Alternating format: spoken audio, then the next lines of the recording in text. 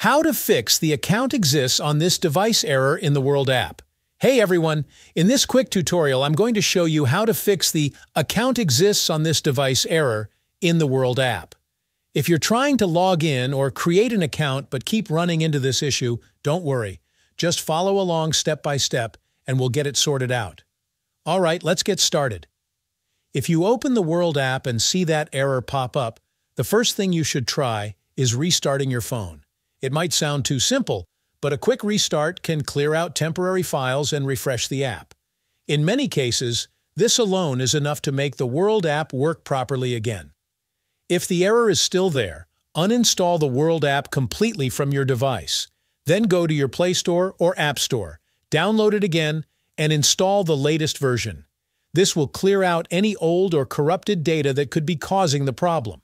Now, here's something really important you need to know. The World app only allows one account per device.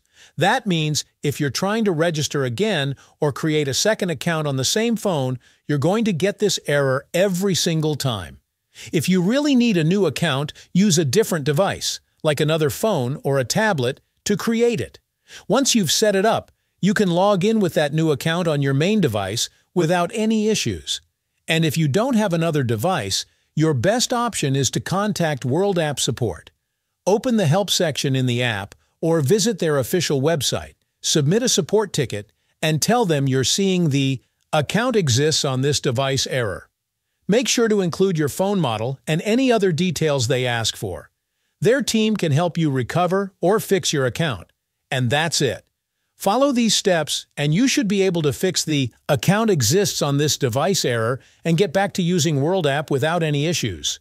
If this video helped you, don't forget to like it and subscribe for more quick tech fixes.